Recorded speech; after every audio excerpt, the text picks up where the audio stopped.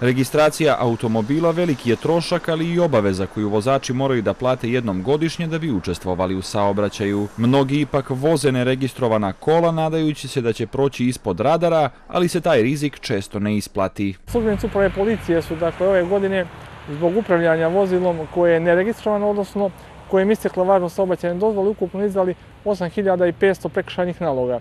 E, zakonom je propisana novčana kazna od 120 do 400 eura. Osim novčane kazne, policija njihova vozila isključuje iz saobraćaja, pa vozači neregistrovanih automobila postaju pješaci. To je još i odlično u poređenju sa slučajem da vozač takvog automobila izazove saobraćajni udes. Šteta će se nadoknaditi drugom učesniku nezgode od strane Nacionalnog biro osiguravača Crne Gore, ali će Nacionalni biro osiguravača kroz regresni zahtjev naplatiti kompletan iznos od samog vozača. Ono što su podaci Nacionalnog biroa osigurača Crne Gore jeste da u saobraćaju otprilike učestvuje nekih 10% neregistrovanih vozila od ukupnog broja registrovanih vozila.